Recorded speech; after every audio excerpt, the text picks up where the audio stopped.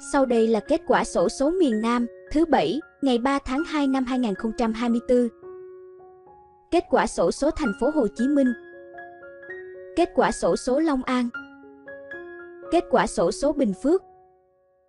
Kết quả sổ số Hậu Giang.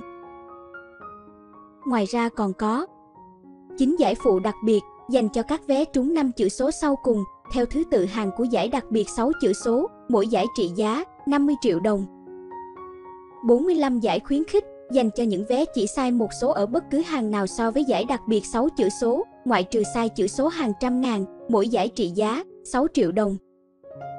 Lưu ý giải phụ đặc biệt, tức là giải dành cho các vé trúng 5 số cuối, chỉ sai số đầu tiên, giải khuyến khích là giải sai một số bất kỳ, ngoài sai chữ số đầu đã là giải phụ đặc biệt. Nói một cách khác, giải khuyến khích là giải trúng con số đầu tiên và sai một trong năm con số còn lại của giải đặc biệt 6 chữ số. Ngoài ra, các vé trùng nhiều giải được lĩnh đủ giá trị các giải. Kênh sổ số 3 miền, kết quả sổ số hôm nay, xin chân thành cảm ơn quý vị và các bạn đã theo dõi kết quả sổ số ngày hôm nay. Nếu thấy thông tin đáng chú ý, hãy bấm nút đăng ký và ấn phím chuông để nhận được thông báo cập nhật kết quả sổ số mới nhất. Và đừng quên bấm nút thích bên dưới để ủng hộ kênh phát triển hơn. Chúc mọi người sẽ được thần tài gõ cửa trong một ngày gần nhất. Mến chào và hẹn gặp lại!